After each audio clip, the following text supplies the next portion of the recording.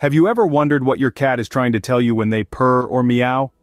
In the mysterious world of cats, purring and meowing are more than just random sounds. They're an integral part of their communication, carrying a wide array of messages. Let's start with purring. You may often hear this low, vibrating sound when your feline friend is contentedly curled up on your lap. But did you know that cats also purr when they're hungry? A solicitation purr, as it's called, is often mixed with a high-pitched cry and is designed to sound urgent and hard to ignore. Cats also purr when they're feeling unwell or anxious. This type of purr is usually softer and less rhythmic than a contentment purr. You might hear it when your cat is at the vet or in an unfamiliar environment. If you suspect your cat is purring due to discomfort or stress, it's best to seek professional advice. Now let's move on to meowing. Cats meow for many reasons, but unlike dogs, they rarely use vocalization to communicate with each other. Instead they reserve their meows for us, their human companions. A happy meow is often short and high-pitched, while a hungry meow is more demanding and persistent. If your cat is scared or feeling unwell, their meow might be low-pitched and prolonged. It's important to remember that each cat is unique, and their purrs and meows can vary. Some cats are more vocal than others, and what might be a normal sound for one cat could be a sign of stress or discomfort in another. To help you decode these feline sounds, we've put together a cat language guide. This guide will provide you with insights into the nuances of cat communication, helping you understand what your cat is trying to tell you. Now that you're familiar with the language of purrs and meows, let's dive into another important aspect of feline communication, body language. Ever noticed how your cat's tail, ears and fur can tell a story? Yes, the way your feline friend positions their tail, ears and fur or how they move about can give us a peek into their emotional state. Let's start with the tail. When a cat's tail stands straight up, it's a sign of confidence and contentment. If it's bristled like a Halloween cat, that's a clear warning sign. Your cat is scared or agitated. A low-slung tail, especially if it's twitching, is a sign of aggression or fear. And if your cat is wagging its tail, well they're not a dog. This could mean they're annoyed or agitated. Now let's talk about ears. Erect ears facing forward indicate a curious and attentive cat, but if they're flattened or turned sideways your cat could be scared or defensive, and if they're twitching or rotating your cat might be anxious or nervous. Next, the fur. A puffed up coat is typically a response to fear or excitement. This is your cat trying to look bigger and more intimidating. Now what about the way your cat approaches you? If they're rubbing against you, they're marking you as their own. It's a sign of affection. But be mindful of those headbutts, they're a sign of trust and love. Yes, you heard it right, your cat loves you. What about those long, slow blinks? Those are cat kisses. It's their way of saying, I trust you and I'm comfortable with you. A stare, on the other hand, could be a challenge or a sign of aggression. Lastly, is your cat relaxed or tense? A relaxed cat will have a loose soft body and might be lying on their side or back. A tense cat will have a tight body, may crouch, and their tail might be tucked in. Understanding your cat's body language is a big step towards better communication. Next, let's discuss how you can improve your interactions with your feline friend. Want to strengthen your bond with your cat and improve your communication? Let's dive into some simple yet effective strategies. First off, cats are creatures of habit. They thrive on routine. Try to feed them, play with them, and even clean their litter box at the same time each day. This will help your cat feel secure and understand what to expect, which in turn can reduce their stress and anxiety. Next, consider the power of touch. Cats communicate a lot through physical contact. A gentle stroke along the back or a soft scratch behind the ears can show your cat that you care. But remember, always respect your cat's personal space. If they seem uncomfortable or try to move away, give them the space they need. Now let's talk about playtime. Engaging with your cat in interactive play sessions is a great way to strengthen your bond. Use toys that mimic their natural hunting behaviors like feathers on a string or laser pointers. This not only entertains them but also provides them with much needed exercise. Lastly speak their language. Yes, that's right.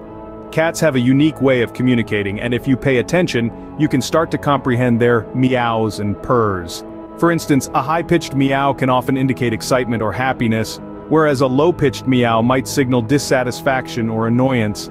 Don't forget, patience is key, Improving communication with your cat won't happen overnight, it takes time, understanding, and a lot of love, but the effort is absolutely worth it. When your cat starts to trust you more you'll see a change in their behavior. They'll become more affectionate, more playful, and overall happier. Remember, every cat is unique. What works for one might not work for another, so experiment with different strategies and see what works best for you and your feline friend. With these tips, you're well on your way to forming a stronger bond with your cat. But what about those quirky behaviors your cat displays? Ever wondered why your cat scratches your furniture, sheds fur all over, or suddenly runs around the house? These are common behaviors that often baffle cat owners. But don't worry, we're here to decode these feline actions for you. Let's start with the furniture scratching. This isn't a sign of rebellion or a personal vendetta against your couch. Cats scratch to keep their claws sharp and to mark their territory. They have scent glands in their paws, so when they scratch, they're leaving behind their unique scent. Offering your cat scratching posts or mats can help save your furniture and meet your cat's need to scratch. Next, the fur shedding. Cats shed fur as a natural process to remove dead hair. Indoor cats tend to shed all year round, while outdoor cats usually shed more during spring and fall. Regular brushing can help control the shedding and prevent hairballs. It's also a great bonding activity. And what about those sudden sprints around the house? This is often referred to as the zoomies. They're a normal part of cat behavior, usually a sign your cat is happy and healthy. It's their way of releasing pent-up energy. Providing toys and playtime can help your cat burn off that energy in a more controlled manner.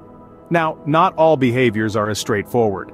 Some, like excessive meowing or changes in eating habits, could signal that your cat is stressed or unwell. In such cases, it's always best to consult a vet. Remember, cats communicate through their behavior, so the more you understand these behaviors the better you can respond to your cat's needs. And just like humans, cats can have their quirks. Some love water, some fetch like dogs, and some may prefer to sleep in cardboard boxes instead of their plush beds. It's all part of their charm.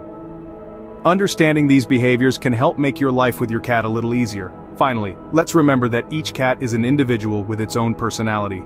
Each cat is unique, with its own distinct personality. This is a fundamental truth that every cat owner comes to appreciate. A key part of forming a strong bond with your feline friend is understanding their individual traits and quirks. Just like humans, Cats have their own likes and dislikes, their moods, and their way of expressing affection. Some cats might be the life of the party, always seeking attention and playtime. Others might be more reserved, preferring quiet corners and peaceful moments.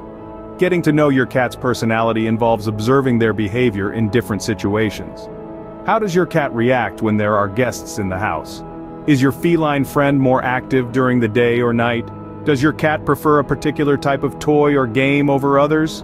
These are all clues to understanding your cat's personality. Remember, the relationship between a cat and its owner is a two-way street. Show respect for your cat's personal space and preferences. If your cat isn't a fan of being picked up, try to avoid doing so unless necessary. If your cat enjoys quiet time alone, ensure they have a safe space to retreat to. It's also important to remember that a cat's personality can change over time. Just like us, cats can grow and evolve. They might become more outgoing as they grow comfortable in their environment, or they may become more reserved with age. Understanding your cat's personality is not just about catering to their preferences, it's about recognizing their unique individuality. It's about celebrating the quirks that make your cat, well, your cat.